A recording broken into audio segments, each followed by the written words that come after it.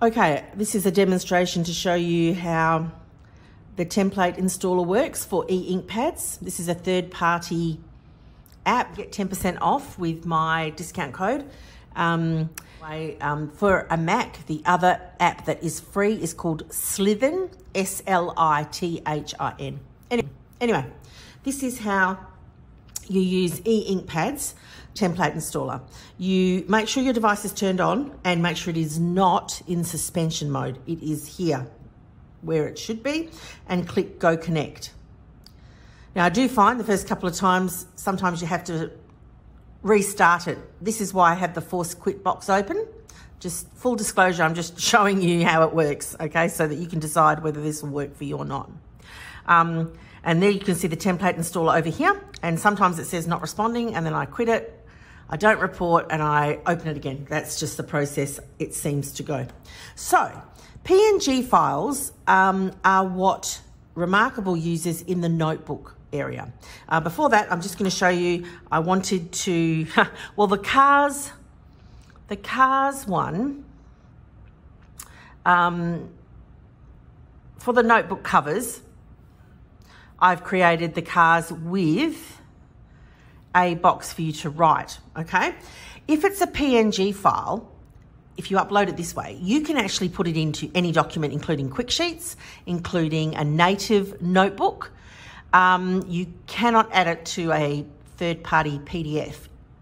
On the Remarkable, you can add it on here on your laptop. Okay, so, but today I just want to show you in this video, we're going to upload this and then we're going to add it into our quick sheets. We'll, we'll add it into the quick sheets um, document that I've got. All right, so that's because, see here, PNG, I'm uploading it as a PNG. Now, the other thing I've discovered in doing this is it doesn't really like numbers. I don't know if that's just my machine. So I'm going to call this fancy because you just pick a name and you call it whatever you want. Um, and I'm going to drag it ac across here, over to here. This is what you see when you open this app. This is the screen that you use. It's, this is all, all, there is to it. These are all, I think there's 84, I could be wrong, 74, 76. I think there's 84 templates all in here. Now, the other thing I'm going to do is I am going to put a P in front of it because I like that uh, naming convention. Uh, they've used an uppercase. They've used P for portrait and L for landscape. You can see that there. Um, I would never suggest you using blank. Blank is their document and you'll overwrite it. I use blank all the time, so I love blank. Um, and then you can see here how they've got, um, they've just used a naming convention to name everything.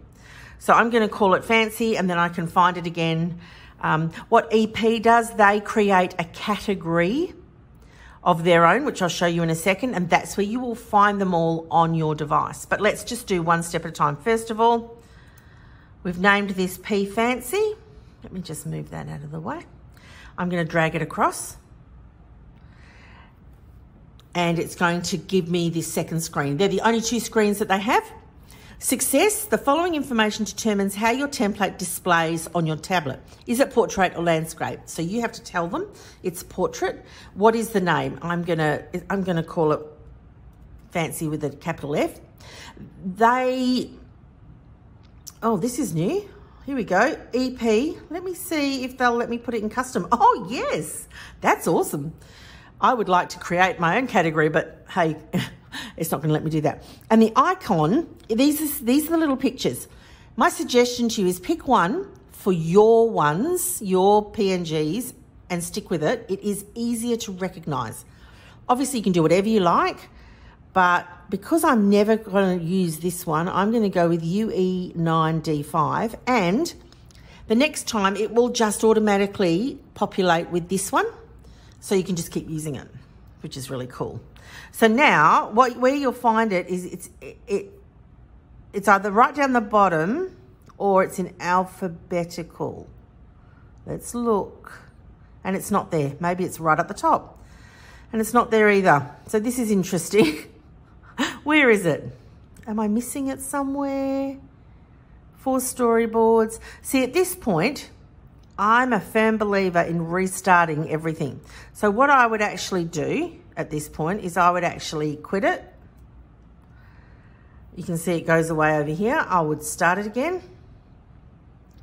I would reconnect and see if it's in there. If it's not, I'll, I'll drag it over and install it again. But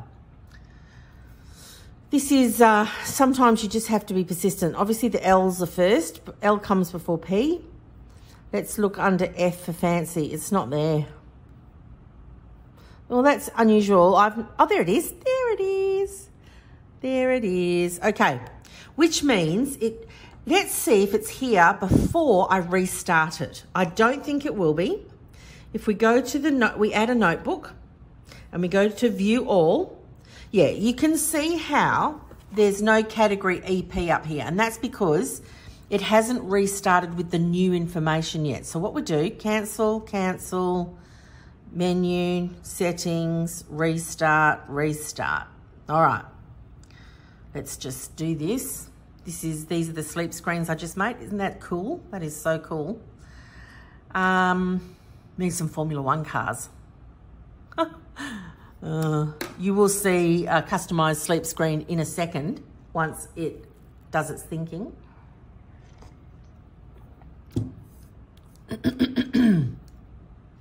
There it is, the little beauty. And now, when we go to up, when we go notebook and we go view all, mm, oh, Oh, I, I should have looked in custom, not in EP. There it is. See custom? That's the that's the category I selected, and it's called P Fancy. See that? Now, when I click on that, I'm saying, can I make a notebook out of this template? And I'll go with that name and last page, page visited, create, and look at that. Now, this is, that, that's really this tutorial, but let me show you now. When I add a page, right, it always adds, when it's a PNG file, it always just adds the template page of the document that you've made. The easy way to change this, so this is just a bit of a bonus tip, is you come into layers and you have a look here. This is the template it's using. All you do is you tap on that layer and you say, I know I actually want a blank page. Now, if we go back and, and look at the grid view, you can see it's changed it. That's the beauty of uploading these as PNG files, is that you can add them then to any native notebook. I call them a native notebook because they're the notebooks that cancel, let me go. They're the notebooks that are native to the Remarkable.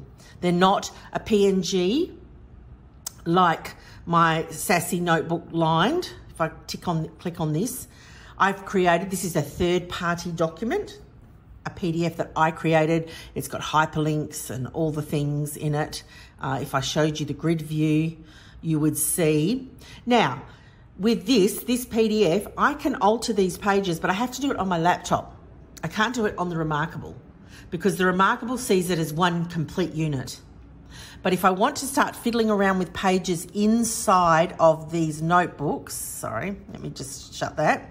I have to do it inside of a notebook I've created in the Remarkable. I'm calling it a native notebook. So that's it. Um, now, this is showing a blank page because the option I had selected down the bottom here is view the last page visited. Now, if we view the if we, if we put the cover as the first page and we save it and we hop out, there it is. Isn't that a beauty?